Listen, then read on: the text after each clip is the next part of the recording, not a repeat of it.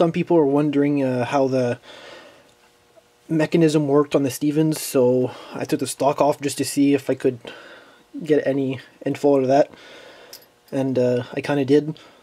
So the bolt, well, I mean, it disappears there. so I'm guessing that, I mean, this is like the the bolt that holds in the hammer and everything. This is possibly for the the loading gate. But I can't see anything if I look from the back, but if it could focus also there. Man. Okay, uh, there you go. If I push the lever back all the way there, I'll pick this up. You see that the bolt is a split bolt.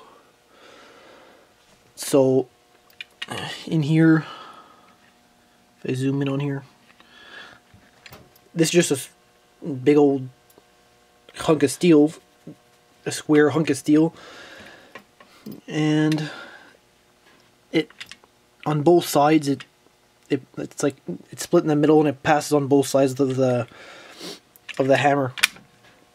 So I'm thinking that this is probably has a type of arm and a spring that pulls it down. And when you rack the bolt it falls in between uh, on each side the the hammer. So uh, that's how that works. I didn't really want to take the gun apart there so uh, I just took the stock off to see what would happen. But uh, yeah. And this spring as you can see is super stiff on here. So the first rifle I've seen. I mean lever actions you have first click is safety and second click is full cock.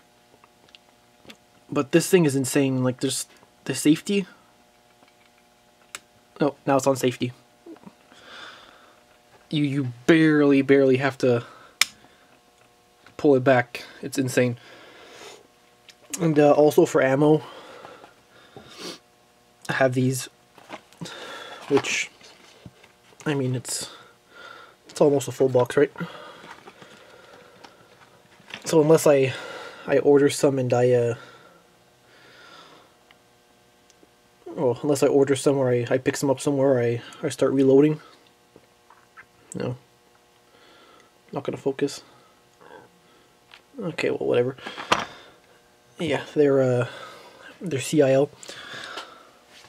So, yeah, that's what it is. The, the bolt on the back is just, it's a split bolt, unlike Marlin's or Winchester, which is one solid piece.